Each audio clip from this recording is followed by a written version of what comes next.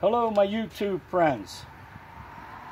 This is my thumb ring that I said that I would demo. And what I'm going to do is shoot three arrows and show them coming off the bow. And then I'm going to shoot three more arrows focused on the target. You'll hear you'll hear the arrow coming off the bow and see how nice this works.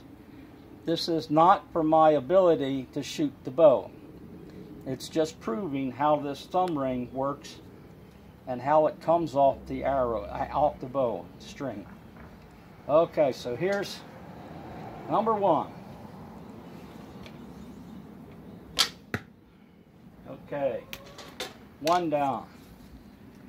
And these flights have uh, oil on them to make them very, very soft. Very, very soft and very pliable. No need for, well, it's on a shelf anyway. The other bow will not have a shelf. But, uh, okay, Darlene, you can stop it now. And